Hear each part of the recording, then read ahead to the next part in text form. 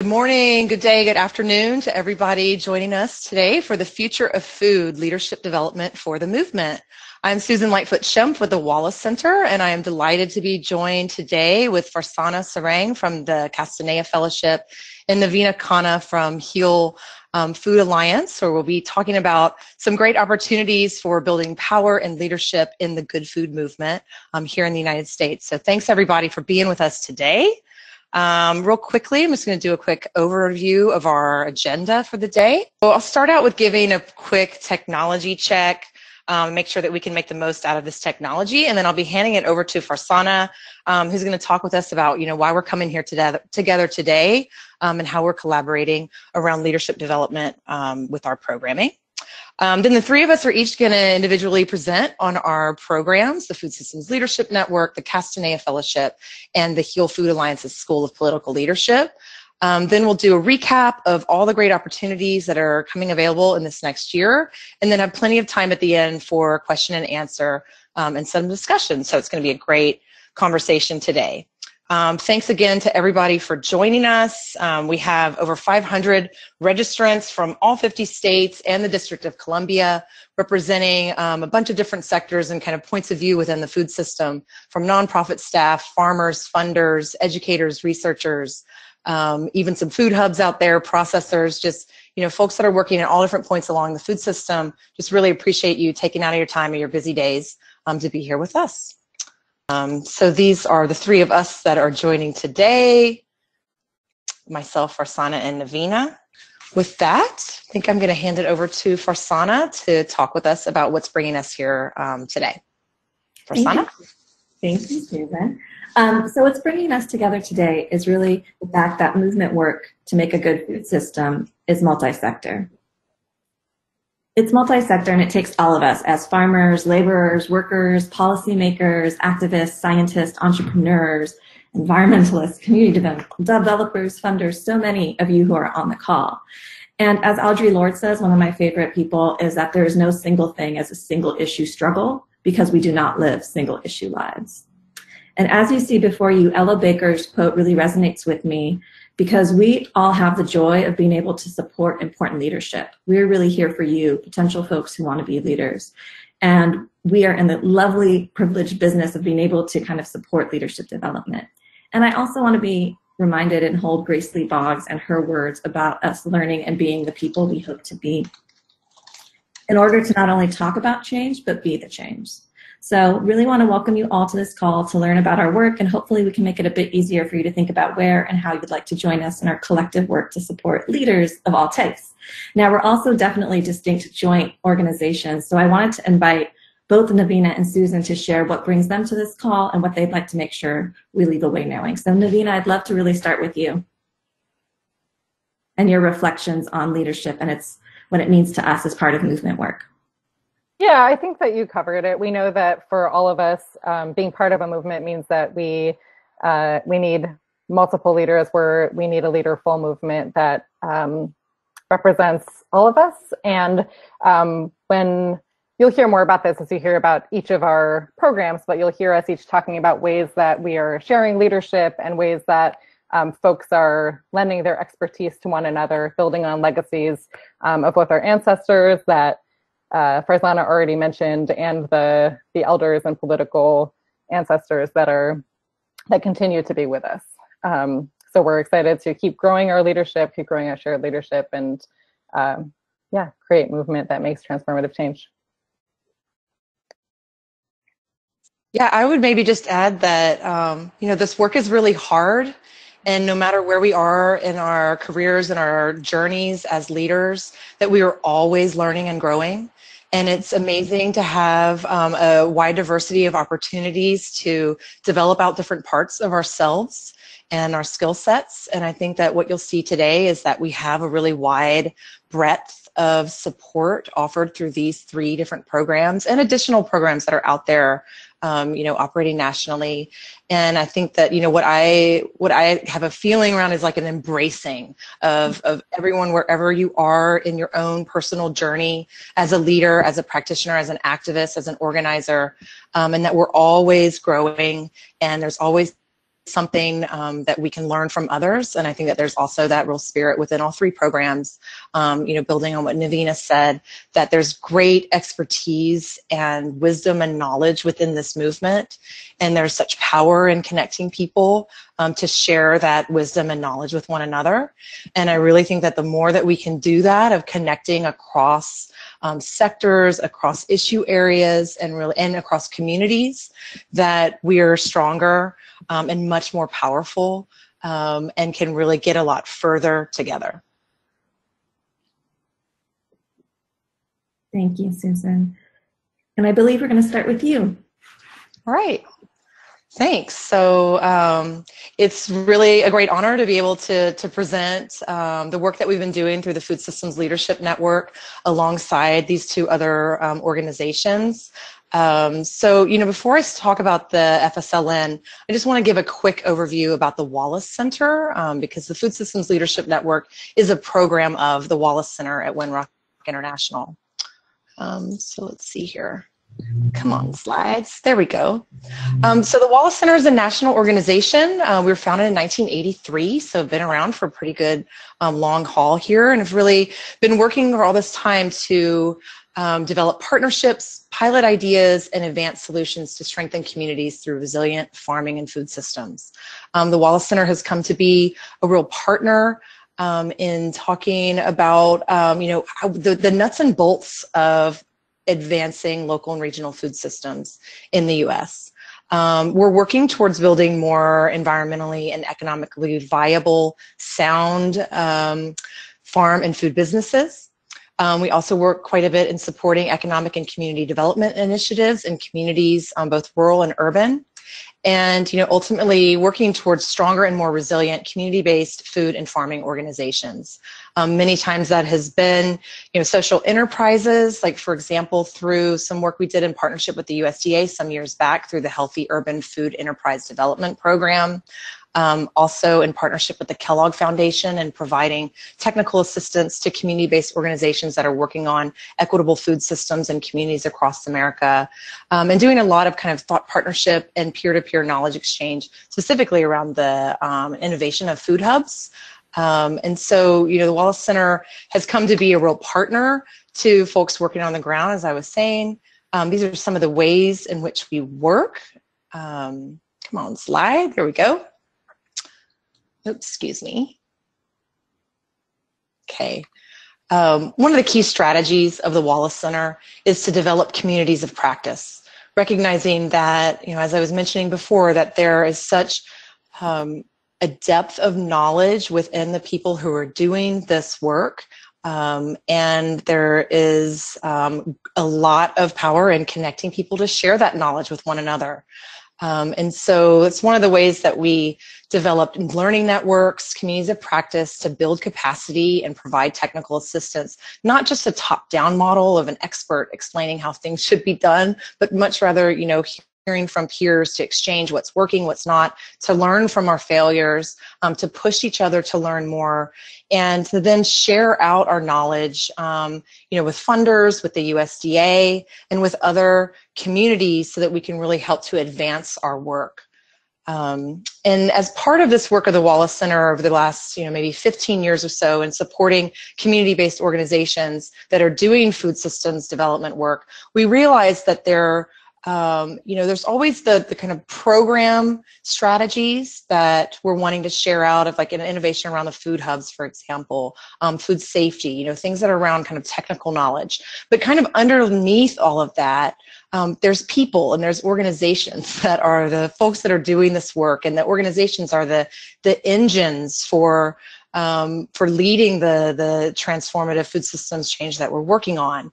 And we recognize that at the organizational level, um, there's you know still a need for support, for technical assistance around organizational effectiveness and, and ongoing leadership.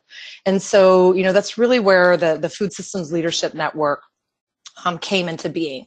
We recognized that we needed to, to develop a community of practice where staff and leaders of nonprofits um, could connect with one another, share information about how they're using their organizations as a tool for change, um, and also work towards building up new leadership um, within our organization so that we can carry on this work for the long haul.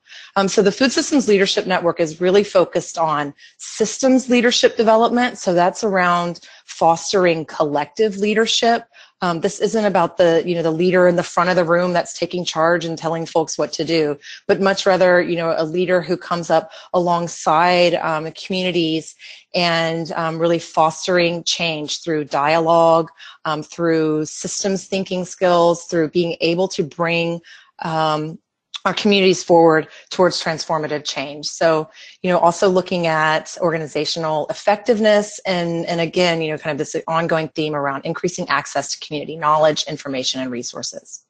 Um, the Food System Leadership Network has a really wide range of opportunities available, um, and I'll be going over those in just a second. And this uh, network is open to all. There's no cost for membership, although um, the some of the services are limited for staff and leaders of 501c3 nonprofits. Um, some of our um, just since actually since January, we launched the Food Systems Leadership Network. Um, we've already brought on about 1,650 members in all 50 states, uh, representing urban, urban, rural, and tribal communities.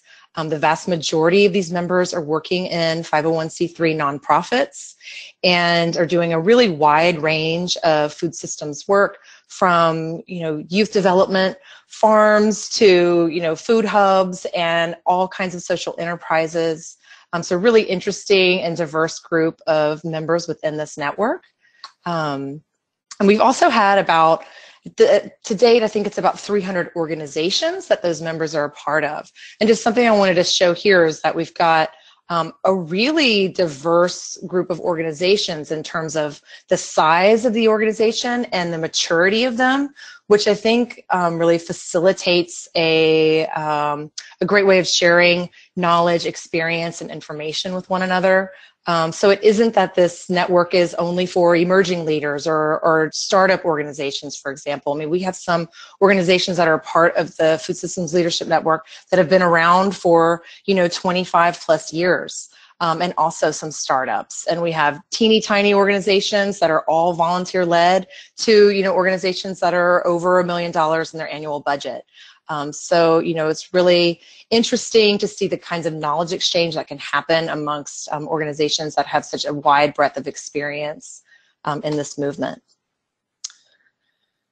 So a couple of things I'll quickly touch on and what the, the um, Food System Leadership Network offers to its members. Um, first, we have the Community Food Systems Mentorship Program, which facilitates relationships between folks in this movement that have, um, you know, significant experience and expertise.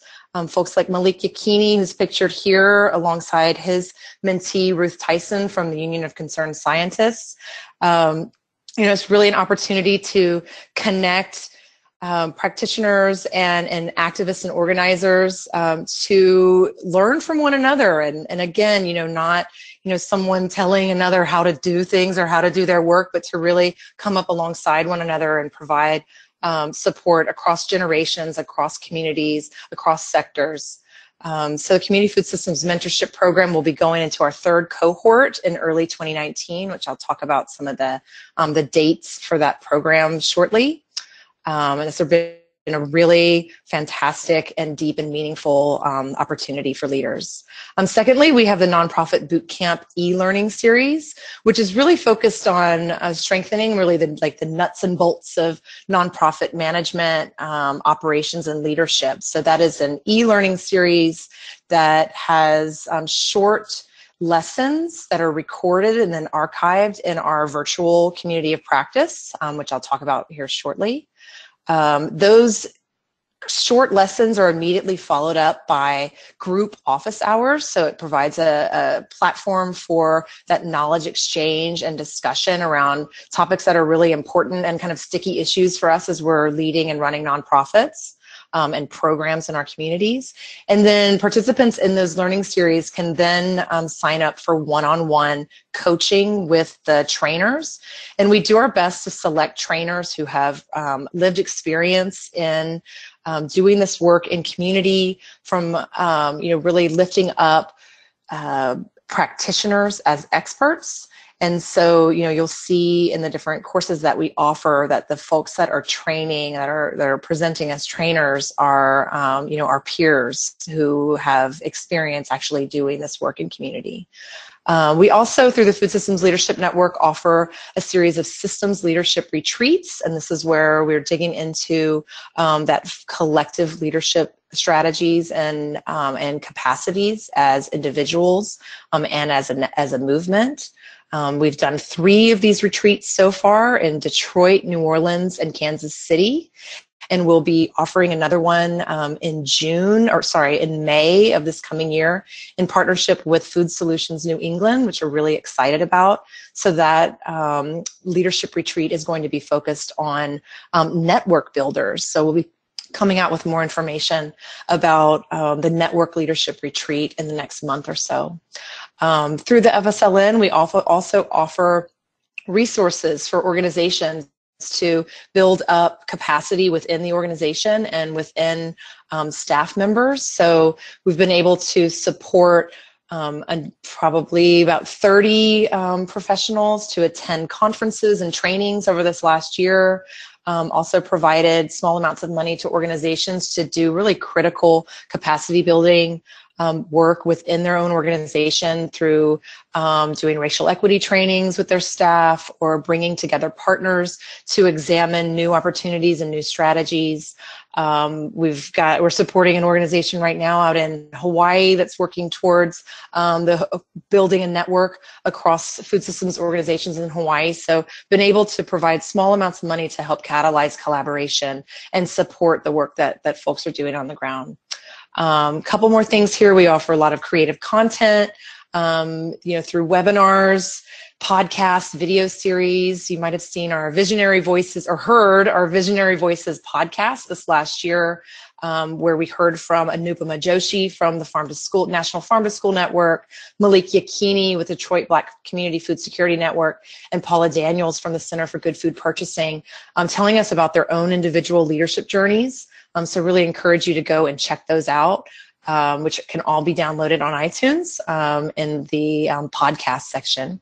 And finally, you know, we offer just a bunch of different creative ways to bring the network together virtually. So um, this year we'll be kicking off a series of coffee chats that'll be happening um, once a month the third Wednesday of every month um, with a different topic and bringing in just having a conversation over coffee with one another to share ideas, um, to troubleshoot sticky issues. Um, we've also done a couple of digital meetups where we get to do speed dating and connect with peers across the country. Um, and pretty soon here, we'll be kicking off an executive director support group um, that will be kind of coordinated through our online community practice platform. Um, I know I'm getting short on time here, so I'm just going to quickly run through, um, show you these beautiful souls that are our partners in the um, Community Food Systems Mentorship Program. These are truly um, some of the most dynamic and wise um, leaders in our movement. And you could work one on one with these folks um, and over the next couple of months. So, really want to encourage you if you're looking for mentorship in your own leadership journey, no matter where you are, if you're an emerging leader or if you've been at this work for 20 plus years, um, there's you know always a um, an opportunity and a role for mentorship in your life.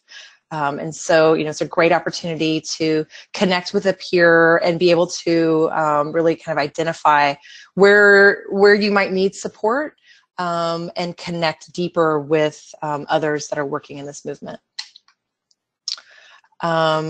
As I mentioned before, we have an online um, virtual community of practice platform. This is a new technology that we're testing out with the Food Systems Leadership Network. It's a really exciting space. Um, we've just kind of barely scratched the surface of what can be done here, um, but really kind of seen this as the, um, the, the Facebook for the the food systems um, community. So I want to encourage all the listeners today to please get on there and check it out. We've got some really dynamic discussion groups that are getting kicked off. Um, it's a great way to be able to share resources and opportunities with one another. Um, there's a very robust events calendar, e-learning library, um, and um, an archive of tools and resources also. So I want to encourage you to check out the online community practice and um, have a lot of upcoming opportunities in 2019 starting tomorrow which is our fail fest. Um, so this is just you know one of the many different kinds of webinars that we offer um, to you know share community knowledge with one another. In the fail fest tomorrow we'll be lifting up you know things that didn't work and what we learned from them and we'll be doing a live voting um, for the most epic fail and having a conversation around the role of failure um, in helping us grow and innovate and identify new um, ways of doing our work.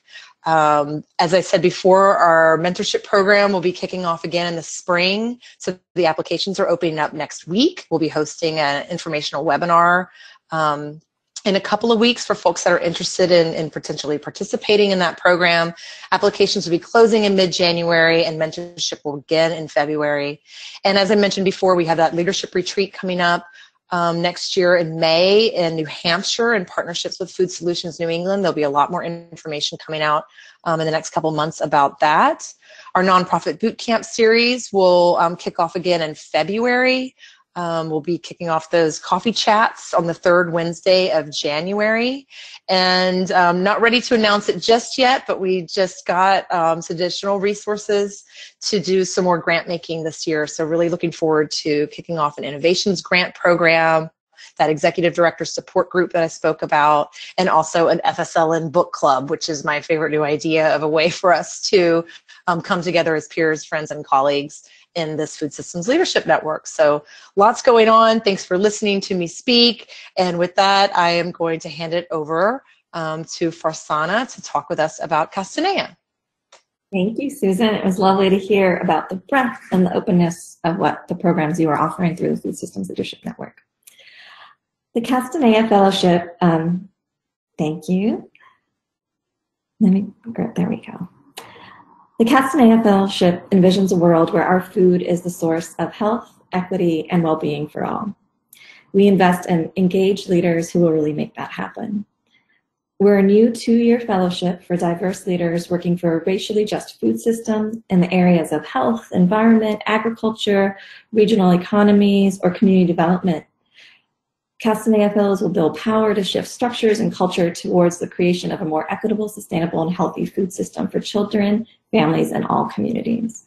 We give Castanea Fellows the time, space, and resources they need to connect and innovate on long-term solutions that can foster vibrant communities. What do we mean by this? Community, who we are, the various people and roles they hold within our work is important because it's in partnership with people that we are able to offer the Castanea Fellowship. And we want to provide leaders with the resources, the time, and the space to grow their personal leadership, their collective leadership, which we really believe once you work on yourself as an individual, you can work on those around you, and you can transform your organizations and the way you do your work to help foster connections across silos and really help grow the movement and the work as a whole. And I wanted to sort of begin, oops, let me just go back. I wanted to begin with the community and the team and who this is.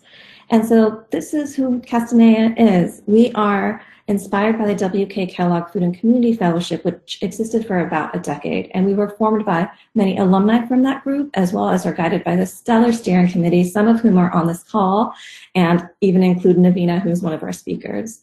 The core team is really includes the Windward Fund, who is our fiscal sponsor, the steering committee, who you can see here on the screen, as well as myself, the executive director, and an operations manager who will be hired in 2019. Our community also includes a large set of community advisors. I wasn't able to put everyone's photos on the website and just wanted to say that this does include our funders such as 11th Hour, CS Fund, Warsh-Mott Legacy, War Sorry about that. Grace Communications Fund, John and Timmie Sobrato Charitable Fund, McKnight Foundation, Nell Newman Foundation, and, and Foundation. It also includes others who wish to give in some capacity to our work. It was really an open call Um, so we've got people who have business expertise, farming expertise, and not all advisors are listed again. And we'll be updating this on our website. And if some of you on this call want to play a more active role in shaping who we are and the programs that we offer, I'll be happy to share that with you and welcome you to join as a community advisor. We also will be having a selection committee. This is kind of our dem democratic selection process. And the selection committee will help us select the first cohort. We are inviting a diverse set of leaders for this role and look forward to announcing the full list in January 2019.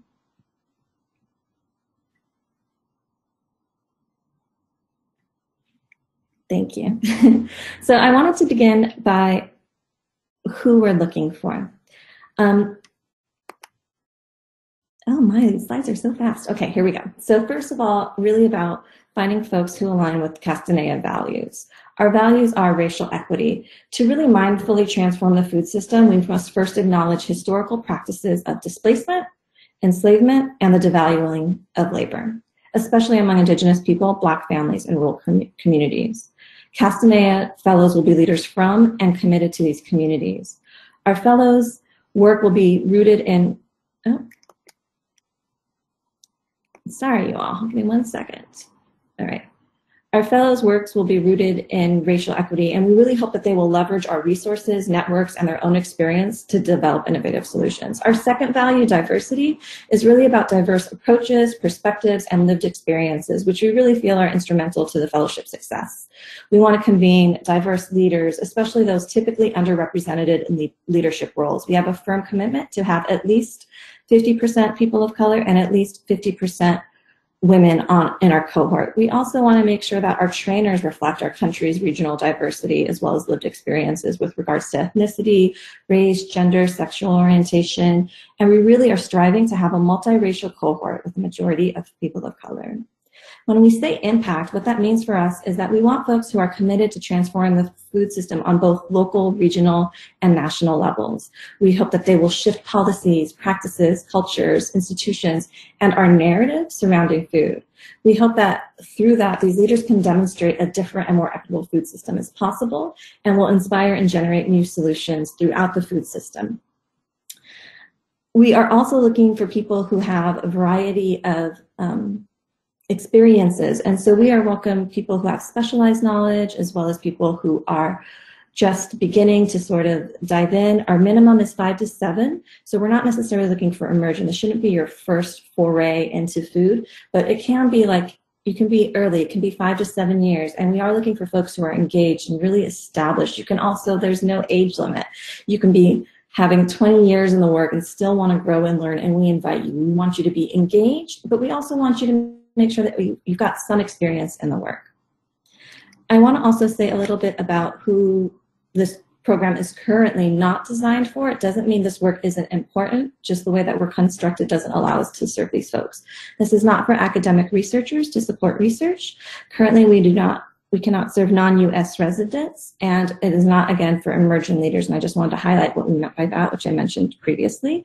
We also have to ensure that there's a 501c3 sponsor. Since the award will be a grant, we do need to know you have a nonprofit partner organization willing to serve in this capacity. It doesn't mean you have to be in a nonprofit, but you do have to have a partner resources. This is really what we will hope to provide with the Castanea cohort. So it's an unparalleled opportunity to amplify your vision. It's three, six, three to six day in-person gatherings, as well as one international learning experience, $20,000 awarded each year, so $40,000 total, and support, mentorship, and love from the Castanea community. More specifically, I wanted to get into what that looks like over the course of the two years. So an opening retreat would occur in June. Our focus then would really be around leadership development, communication skills around storytelling. We're partnering with the Sustainable Agriculture Food Systems Funders Network so that you can also be introduced to our community and begin to develop vital connections then. We'll be going to the southern region in November of 2019, really honing in on the role of racial equity and what it means for our food systems, developing skills around finance, policy, and organizing. We're looking at this to happen in Atlanta and Albany, Georgia. Next, we hope to go to a coastal region to, to hone in on finance, communication, organizing skills, as well as highlight the work of the food system around the coast.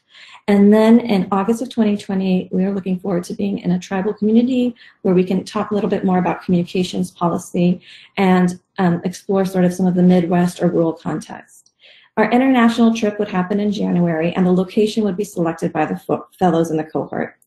And then we would have a closing retreat in June that would have a focus on leadership development, and part of that would include a final video presentation for leaders to share their vision. Throughout all of this, there will be ongoing activities, which are opening and quarterly closing check-ins, as well as coaching and mentorship that occurs through peers, as well as learning evaluations. Leadership development, I just wanted to kind of go through quickly, and I'll wrap this up soon. What we mean by that is just we want to support value-based leaders develop skills to hone their leadership style. With communications, we really want to focus on how to amplify your voice and vision through clear storytelling, as well as how you can showcase your work through media, print, and public policy, looking at what local, regional, state, and national policy coordination tactics look like, depending on geography, and how have people really been able to shift the political landscape. And then organizing, we want to provide the opportunity to really deepen skills around digital and place-based organizing and how it can connect or further work within the food system to shift power.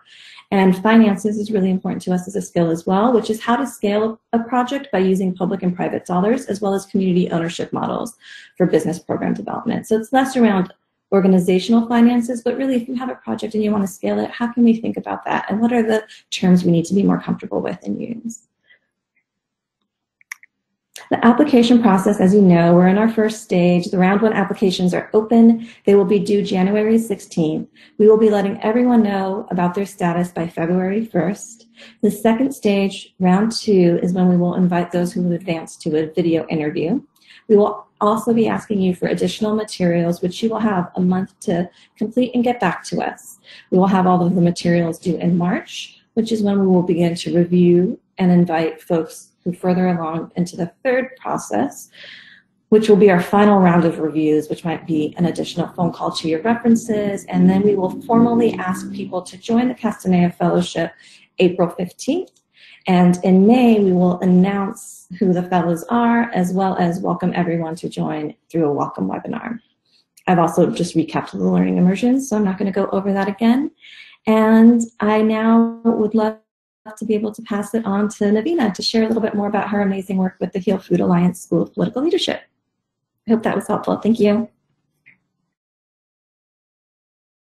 Great. Thanks, Farzana. That was great. And um, yeah, folks, I see that some people are already putting questions into the question box. If you have questions for any of us, feel free to name them there. I know that we're all going quickly through an overview of what our programs are, but we want to make sure that we have time to answer your questions too, is why we're doing that. Um, so I'm happy to be here with Susan and Farzana to talk about HEAL School of Political Leadership. It's a, it's a year-long program that we launched um, at the end of 2017 and just wrapped up our um, final session of this past weekend. So um, I'll tell you just a little bit about HEAL and what that program looks like. So Heal um, grew out of a group of leaders from different sectors in the food movement, different organizations, different geographies, um, and representing different bases who really saw the need for us to have a vehicle that built our collective power to make transformative change. So we are anchored by our co-founders, which is the Food Chain Workers Alliance, the National Black Food and Justice Alliance, the Union of Concerned Scientists, and Real Food Challenge. Um, a group of organizations that came together to really think about what could it look like for us to build our collective power. And uh, we came together with this vision for transformation uh, and grounded together in this platform for real food. So um, over the course of a, of a couple of years, we talked to organizations and leaders with experience and expertise in all different areas of food and farm systems um, and came up together with this 10 point platform. You can see this in much more detail on our website, but essentially the, the point of having this 10 point platform is saying together that no, no one of us, no one organization, no one sector can do everything or will do everything, but we recognize that all of these things need to need to change if we're going to change our food systems. Um, and that we we have each other's backs. We're in we're in solidarity. We're in community together. We're building our power together to make this transformative change.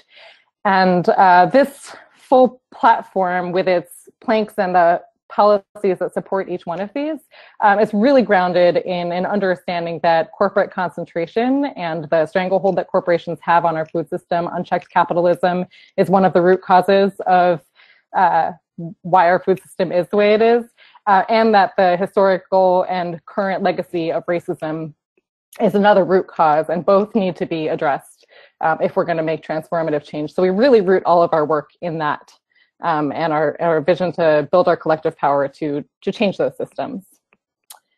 So at this point, we have 53 member organizations. Y'all are right, these slides do change really fast. Um, 53 member organizations representing different sectors, different communities. Um, HEAL, as most of you probably know, stands for Health, Environment, Agriculture, Labor, and we're bringing folks together across those different sectors to do the work. And we do our work in a few different ways. So one of them, as I mentioned, is working to expose and address corporate control of our food system. Another is working to build power in local communities that we can um, make changes uh, wherever we are and do some translocal organizing, learn from what each other are doing. And finally, uh, to cultivate political leadership. So um, we, we've known for a long time that the change that we need is not politically possible right now, and it hasn't been for a very long time. Uh, we know that the, the policies that created our food system are connected to uh, systems that have committed genocide, forced people off of the land, um, that these systems are perpetuated by by folks who hold power and are not accountable to our communities that don't hold, don't center people uh, or the planet in the ways that they're making decisions. And we've seen over time that um, our elected officials, the folks who are setting policy, really uh, we have a we have very few folks in there who are actually accountable.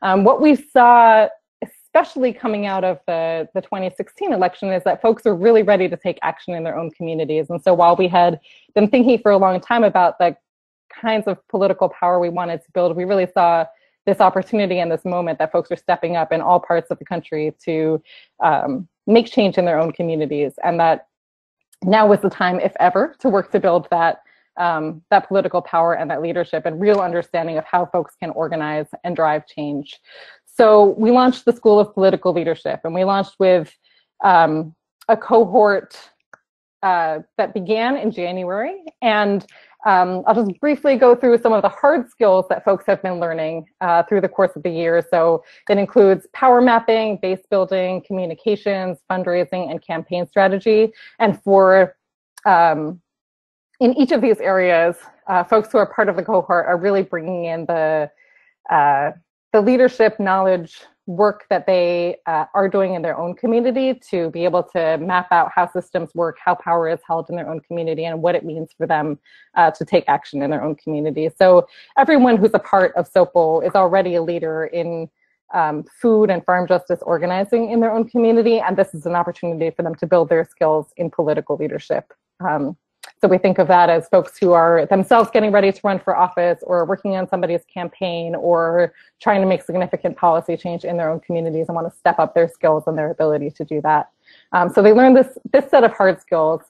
And then with that, of course, there's also uh, soft skills uh, that go with this. So we do a lot of work together on our shared political analysis. Um, we, we know that the the change that each of us is trying to make is really about us being able to ground into our own leadership and our own purpose. So we ground all of the work that we're doing in um, in somatics and our and our body based understanding of of how change happens and what our own purpose is. Um, and we focus in that somatic work on on healing for ourselves, for our communities, um, and for the movement. Um, each session includes translocal insights. So I'll talk a little bit more about um, what that looks like in each session. And of course, really strong relationship building between the members of the cohort. And I think that's something that you'll see with each of the um, leadership programs that's being talked about. One of the one of the biggest benefits is the kind of relationships that you build with the people that you're in community with. Um, so this past year, we had a um, really uh, beautifully diverse set of individuals who are part of the of the SOPL cohort and um, I think one one thing that folks should be aware of is that we we emphasize and we prioritize uh, folks that are affiliated with HEAL member organizations. So um, most organizations can become members of HEAL if you uh, align with our with our vision and values and platform, um, and uh, and you're committed to doing the joint work together. Um, but in our application process, we will prioritize folks that have a reference from or are already based at uh, a member-based organization. So these folks who were part of this first year of SOPL are all affiliated with member organizations and uh, represented uh, coastal, border-based, urban, rural communities uh, around the country, and um, who are all at different stages of their leadership, but are doing deep organizing work in the in their own communities um, and in different sectors. And so, uh, one of the um, one of the powerful things about this was the opportunity for the cross learning. And uh, in this year, we managed to go to four of the communities that folks from SOPL uh, were from. So we uh, went to the Central Valley of California, to North Carolina, to Cleveland, to Minneapolis, and we just wrapped up in El Paso, Texas. Um, we really hold intersectionality at the heart of how we uh, understand making this kind of change. And so with each of these sessions, we've been able to bring in leaders from uh, leaders and organizers from the region who have been doing this work for a long time to talk to our folks about how they do the work and to get some field-based experience um, in the community, sometimes on farm, um, sometimes door knocking, and uh, and getting to visit you know those historical sites that have made change. Um, so we always bring in guest speakers uh, from the community uh, and do a lot of co-learning together in each of those places. Next year, it will probably look a little bit different. We're, we're thinking more about um, we're still we're still capturing all the lessons that we've learned from this year. Um, we're thinking more about how we focus even more deeply uh, in a handful of communities uh, and build with a few folks from each of the different regions that we're in. Um, you'll you'll see us. Uh, I'll turn it back to Farzana in a minute, and she'll go through the dates and things like that. Um, we will definitely be visiting the communities that uh, SOPL participants are from for next year. Uh, and one of the lessons that we also learned from this year is making sure that we wrap up the program uh, enough in advance of the next election cycle so that folks can actually really put their skills to work um, in the 2020 election cycle. So our program will run um, from May of 2019 through the spring of 2020 so that folks have six months then to really put their work into action um, in that next election cycle. Um, so I will wrap up there and I'll turn it back to you, Farzana.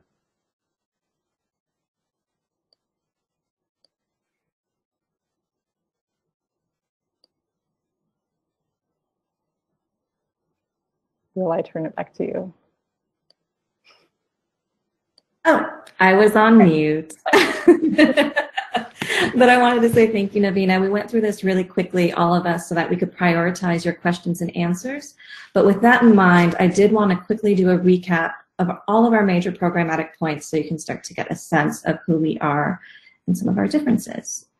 Um, slide. Thank you. so what are the major points? We are three distinct national fellowships working to coordinate our efforts for you. Really appreciate all of the questions and we'll get to those really shortly. Um, I just wanted to say like our unique offerings. The Food Systems Leadership Network is really focusing on like organizations. They have a mentorship program. They have lots of offerings. They're looking for leaders across the spectrum.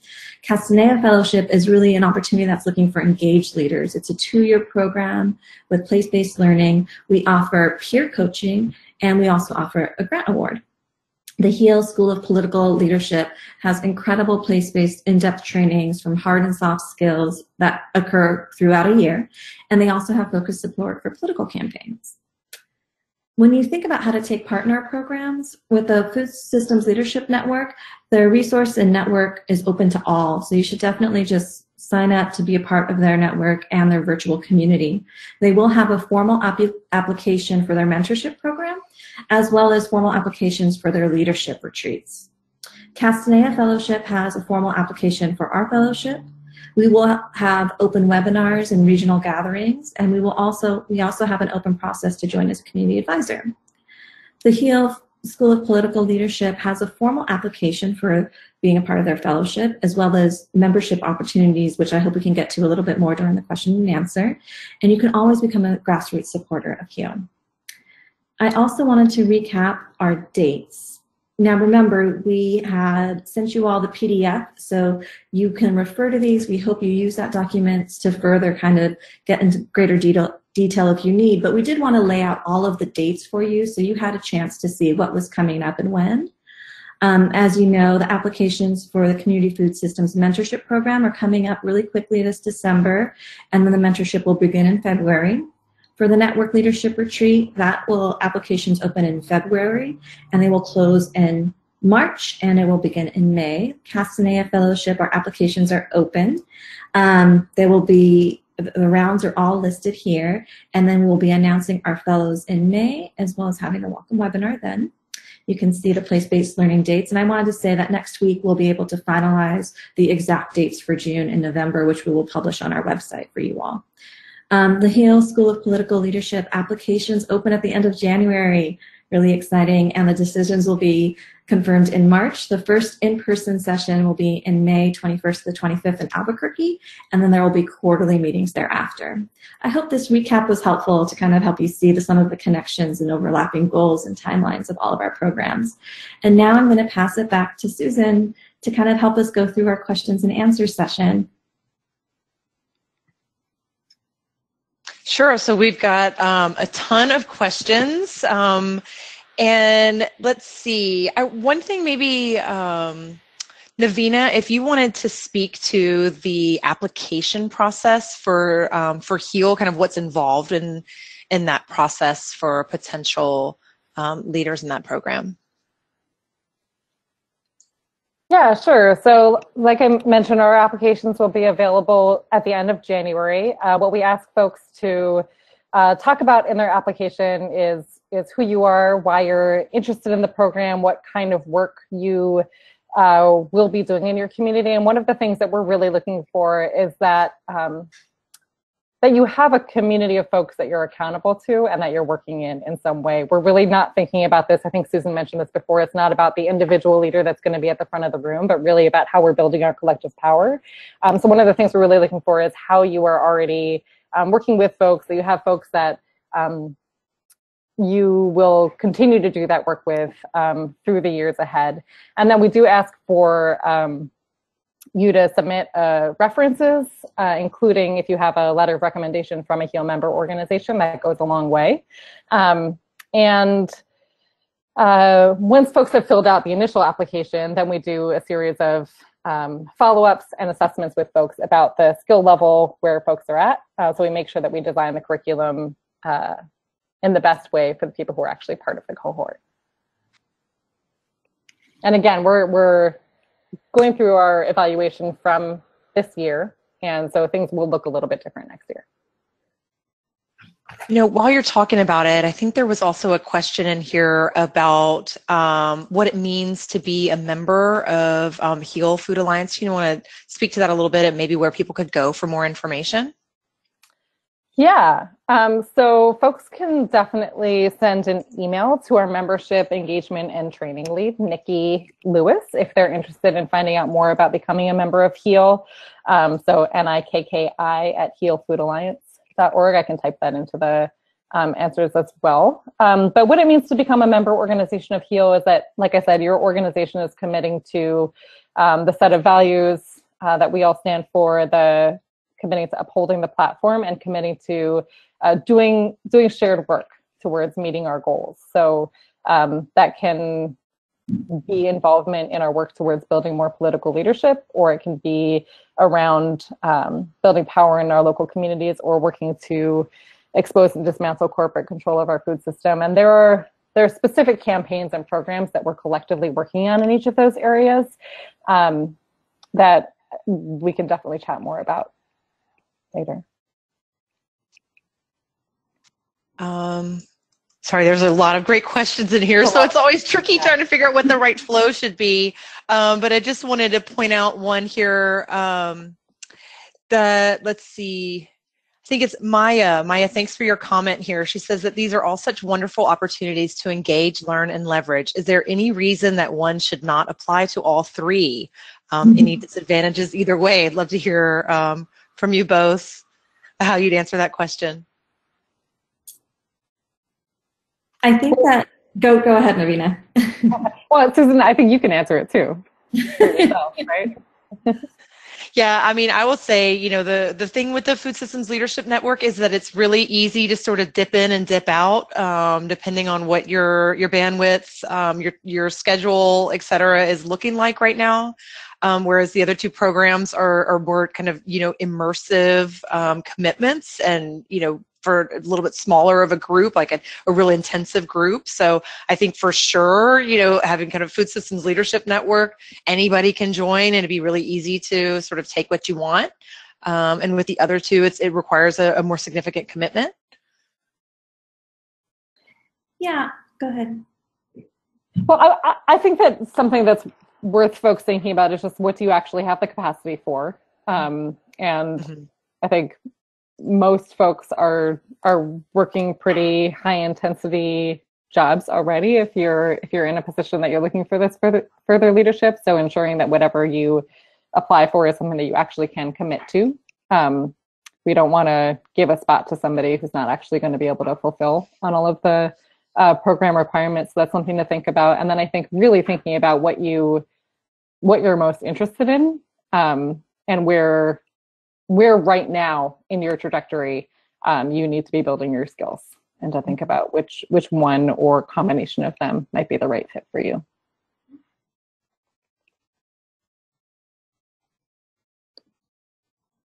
Farzana, anything you want to add to that? That was perfect. This is why I enjoy working with the both of you. I think we covered that. um, so there's this whole slew of questions around Castanea. I started um, up. so um, one question here is about the role of the nonprofit partner mm-hmm. um, from Devra, and she's asking, um, or they're asking, are they expected to um, pledge any funds towards this programming? Mm-hmm. Um, are they expected to pledge any funds? Can Can you read that part of the question again for the fiscal yeah, sponsor? Okay. The, no. Yeah, the, I think it's probably around the fiscal sponsorship, yeah. But the role of the nonprofit partner. Got it. So before I get to that, let me just see if I can share a little bit more about what I've been picking up from the questions and answer them collectively. And then I am actually going to hand it over to our our colleagues at Windward Fund who can share a little bit more about the fiscal sponsorship requirement. So first, let me say when we talk about um, the experience that's required, and we set a minimum of five, someone asked, is it five to 10 or is it like 20? honestly, we're looking for a range. So we want engaged leaders and we want this to be an intergenerational cohort. So if you've been doing this work for 20 years or 30 years, you're welcome to apply. If you've been doing this work for 5, 15, 7, you're welcome to apply. And someone had asked a question about what does food systems work look like? You know, we realize that food systems work is pretty big. There was a chef who asked, would they be considered as doing food systems work? My answer is yes. If you are doing anything with regards to growing food, helping get food to people, thinking about the policies and systems, farming, also thinking about food waste, it all connects social justice, racial justice, economic justice. So if you identify as your work being part of the food system work, then we want you to apply. The other thing that I've been hearing is like, are there, do we cover travel costs for these trips? And the answer is yes. We will be covering travel costs in addition to providing a grant stipend. The other piece, I think. Can I, can I jump in right there Farzana? Because I saw a couple questions for SOPL about travel costs too. Um, we we do provide scholarships for folks who need them. Um, we cover cover all room and board um, and the cost of trainers and things like that for everyone. We don't provide a stipend, but if you're if you and your organization need us to cover your travel costs, we will do that to the extent that we're able. I'll add the same for our leadership retreats. Um, we can provide scholarships for travel to and from the retreat. Um, and once um, participants are there, all their costs are covered. Um, and similarly with um, some of our other you know, gatherings and such, we can provide scholarships for attendance. Mm-hmm. Great. And then I know you had asked about the fiscal sponsorship, Susan. Jennifer, I wanted to invite you to sort of join the call and share from your perspective what's important for folks to know about the fiscal sponsorship requirement for this fellowship. Yeah, absolutely. Thanks, Farzana, and thank you for everybody for joining us today as well. My name is Jennifer Lambert with the Windward Fund. So we perform, we support the Castanea Fellowship, um, actually as their fiscal sponsor for the project. So um, I have lots of insights into uh, what it would require on the fiscal sponsor side. Um, so really, just wanted to start off with the fact that um, you know, in, in giving this grant to an individual, it's actually heavily regulated by the IRS. So what we're doing, um, and what is the model, the fiscal sponsor model that we're employing, is that we're just asking a C3 organization that has status with the IRS. Um, so that was an answer to actually one of the questions about an organization that um, somebody worked with. If you have an organization, we're just looking for C3 status with the IRS. So that'd be determined with the IRS determination letter is something we'd be looking for. Um, as a qualifying organization. And then what we're looking uh, for the organization to do is just really be a steward of the funds. So um, they're just making that organization is just making sure that um, they are receiving the funds from us and then they're administering them. So making sure that they're being used for the charitable purpose that they were designated for. Um, so within that, um, if you have any further more specific questions, I really wanted to keep it pretty general on that part. They're just going to be receiving the funds, being stewards of the funds. Um, to direct any very, very specific questions to Farzana, um, and she can connect you further with me. Her contact information is on the slide as well on the screen. Um, but I understand it could be a little bit confusing, um, the fiscal sponsorship setup, so I do really encourage you to ask further questions via email. And I just want to add two quick things. A fiscal sponsor doesn't mean that they will have to add money there's no financial requirement required from an organization, I think your framing around the stewardship was really important. They will just be the stewards for your grant award. And then the other thing is you don't have to have all of these details figured out in the application process. You just check a box to make sure you're in the process of working with somebody. The more you advance through this process of applying for Castanea, the more information that you'll be gathering and that will be gathering. So just wanted to also mention that. And if I can just quickly answer one question for this first application piece, I saw a couple of questions around what is um, required for examples of work. And really that's just open to you. And actually Navina really kind of helped. She's part of our um, outreach committee is that that can be something that is non-written. That's an article that you've written. It can be a picture of something that's really important to you. It can be a video. So that's really open. There's no specific requirements. We want you to be able to feel free to share with us something besides a written word um, or an article that's been that you already have with us. So I'll stop and I hope that answered most of those questions. Thank you, Susan and Jennifer. I, wanted to answer one question that's in there, Susan, not to make it all be on you to, to figure out what questions we answer. Um, so, so one of the questions that's in here is about whether undocumented folks are eligible for all of these programs, and um, maybe we could each answer this for um, for for SOPL, which somebody asked. It stands for School of Political Leadership. Um, it there's there's no citizenship requirement. Um, we uh, we just, in terms of figuring out travel, would want to make sure that we um, take care of our people. We, on this, in this year, we did go to the border, and so we just want to make sure that folks are safe.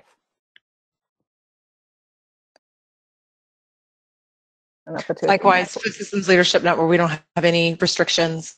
Um, come one, come all.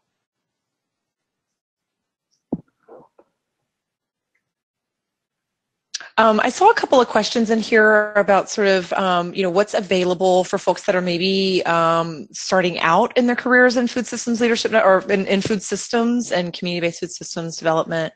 Um, and, you know, recognizing that um, maybe some of the programs are, or you're, if, you know, especially with Castanea, if you're further along um, in your career, a little bit more of established leader, where can folks that are starting out get some resources and information? And you know, I would recommend that the the Food Systems Leadership Network is probably a good place for you, um, both in terms of the you know the webinar offerings that really give you a taste of the kind of work that's out there. Um, the nonprofit bootcamp e-learning series is a great way to get some of the fundamentals and sort of nuts and bolts of nonprofit management and leadership. Um, and we have a, a, really significant webinar archive and tools and resources archive, um, both within the Food Systems Leadership Network and the Wallace Center's website. Um, ngfn.org, the National Good Food Network.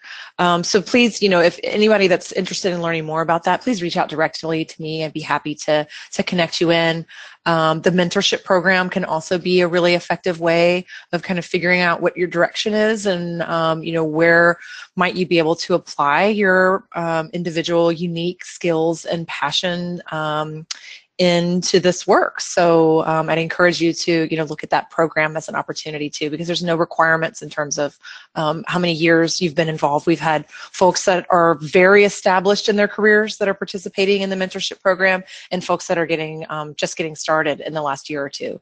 Um, so that's another great opportunity. And same similarly with our leadership retreats, um, we we really try to put together cohorts that represent um, this maximum diversity in terms of perspective, lived experience, um, and age, honestly, because, you know, a lot of younger leaders are bringing, you know, just some fierce new ways of, of seeing and being in the world that you know some of us that are been in the work for a longer time like need and want to hear from. And so it just makes it an even more dynamic experience when we've got folks that are maybe even brand new to the work because they're seeing it in fresh eyes. So please don't be discouraged um, from from applying for our leadership retreats if your if your leadership journey is just getting started and for for SOPL too, while we do want to see that you are clearly committed to your community and the work, um, there's no age or number of years of experience requirement for it. We, this year, um, our youngest participant was 18 years old, um, and we went up to maybe she was 19 when we started, um, and we went up to folks in their in their mid 40s this year, and we're open to to any age if you have that kind of commitment. And in our case. We're also very interested in folks who may be newer to food systems work, but have been doing racial and social justice organizing in their own communities and want to figure out how to bring um, food and farm work more into that.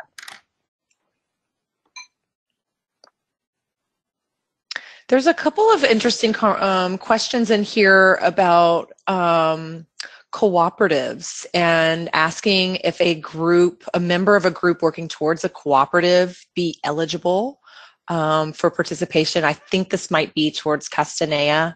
Um, and, you know, kind of clarifying whether this fellowship will have an element of developing structures outside of nonprofits such as cooperatives.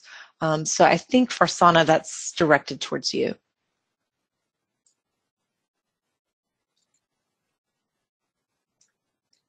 You're muted. Thank you.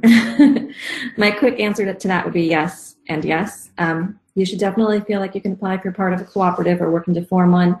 And when we talked about our place-based visits, for example, when we go to the South, I'm really interested in showcasing some of the amazing cooperative work that's been going out there for generations and decades.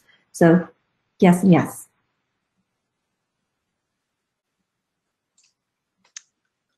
Um, sorry, there's like a lot of questions in here. This is um, it's an interesting challenge. So. And I, we should also just share that we'll do our best to answer these questions. And whatever we don't get to now, we'll make sure to follow up in some forum by email. Um, this is a great list of questions. Thank you, everyone. And the presentation um, will be available after, too. Hey, Navina, do you want to speak to um, what communities will be the focus of attention for SOPL in 2019? Yeah, so we'll um, we're really going to shape it based on where folks are coming from, um, and where where the interest is, and where we can build power together. So I don't have definitive areas that we'll be focusing on yet, um, but we'll have a stronger sense of that by the time applications go out. Mm-hmm.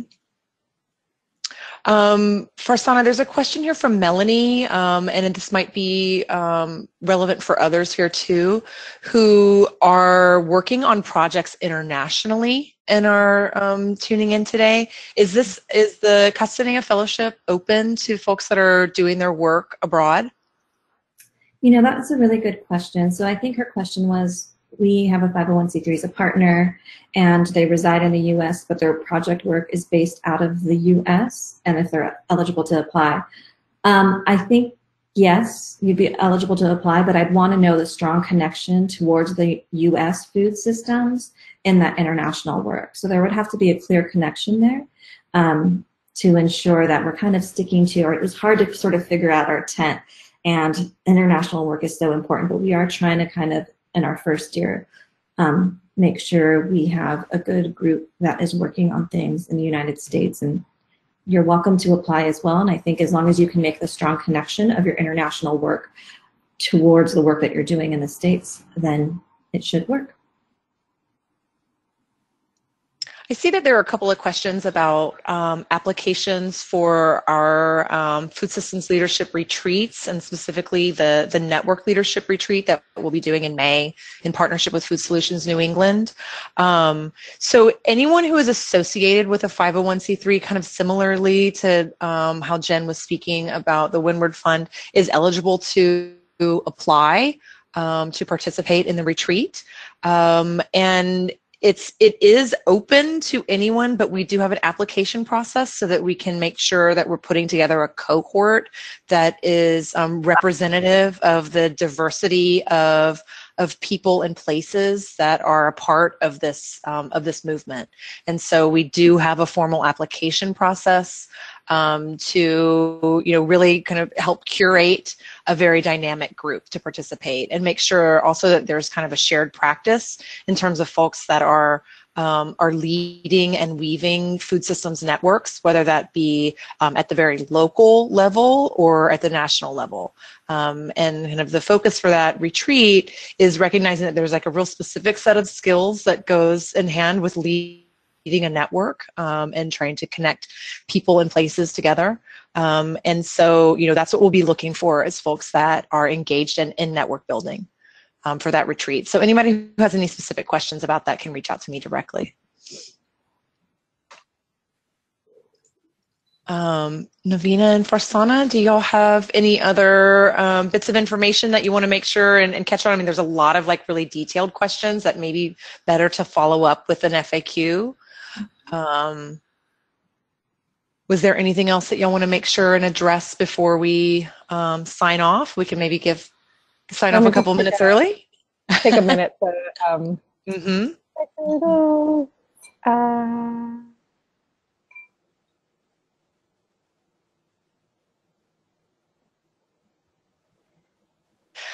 There's yeah, a maybe just here Farzana. Uh, uh, sorry about about the stipend amount. I don't know if you want to talk at all about that amount or what is if there's any expectations around that.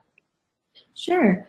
Um, so I saw a couple of that. First, the reason that we have a stipend is during our design phase, we learned that it's really important, especially if we want to support leaders who are underrepresented, to honor the time away from work, to be able to offer them some sort of remuneration for their time towards what it'll take to be involved in this. So um, we that number was sort of something that we were able to do that felt right that was meaningful for us and that's how we came up with it. And with regards to how it's used it really depends on your fiscal sponsorship and the stewardship with which the agreement you make.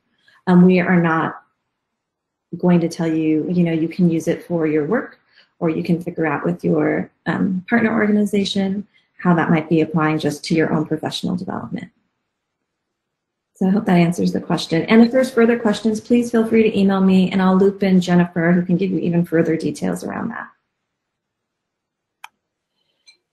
Farzana, there's a great question here from Susanna who is asking um, how you see the Castanea Fellowship growing in the coming years.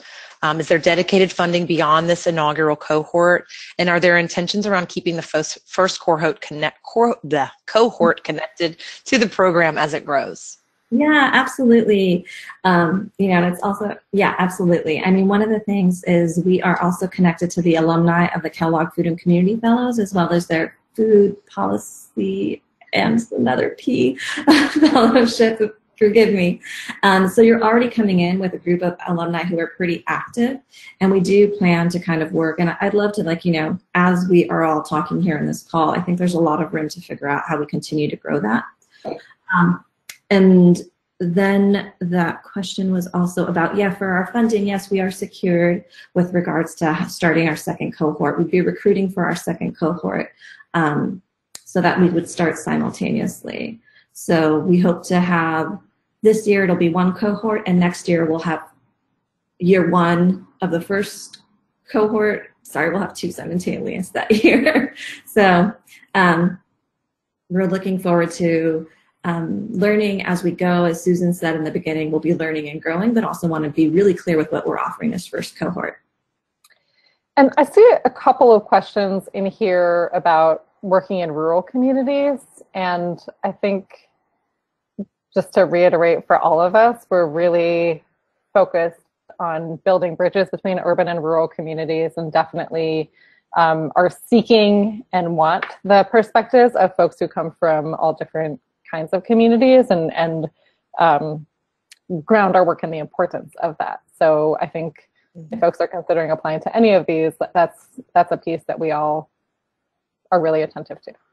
Mm-hmm. Yeah, thank you. Mm-hmm. Yeah, maybe there's a couple of questions um, about eligibility for the different programs of the Food Systems Leadership Network. There's no limitations. So if you have, you know, ex- receive, if you, for example, if you've participated in mentorship and you want to attend a leadership retreat, um, you know, apply. There's no limitations. It's not like you can only do one thing and not others. Um, so, you know, and, and, and, actually, I mean, what we're looking to do is to continue to build connectivity um, with the folks that participate. Um, and so just being able to, you know, have more points of contact with you is a great thing. Um, so I encourage you to, you know, if something interests you, go ahead and apply. Don't, don't be discouraged if you've already participated in something. Um, great. Well, I think we've answered a whole lot of um, fantastic questions. I appreciate um, everyone's participation and um, want to commit to filling out a FAQ with answers to all the remaining questions and send that out to um, all the registrants so we can follow up with more information. Um, and maybe if we just want to have a couple of kind of closing salutations and appreciations, um, I just want to thank Farzana and Navina for being collaborative and pulling together um, this webinar today. I'm really looking forward to continuing to work um, as allies and accomplices with you, and also in kind of envisioning how we can um, weave opportunities between our different programs um, and recognizing that you know y'all have um, some amazing people involved in your work and similarly in overlaps in our network so i'm just looking forward to that opportunity um, continue to evolve in the years to come. And just want to thank everybody out there who's listening um, and for you know leaning into this opportunity and seeking out continued opportunities for growth um, and development. And for the work that you're doing in community, thank you. Um, it's going to take all of us. So um, really appreciate your time and commitment um, to this work and to um, to your communities. Um, Farzana and Navina, you guys want to make some closing remarks? Sure. I want to also just thank you, Susan and Navina, and also Jeff, who's in the background with all of our tech um, and helping us along, and everyone who's on this call. Just really appreciate you making the time. And I'm excited for how we are sort of joining and having conversations about what our work can look like and how we can come together and support our various work as part of this larger goal for like movement building and strengthening our power and our leaders. And just really appreciate all of you on the line today. Thank you.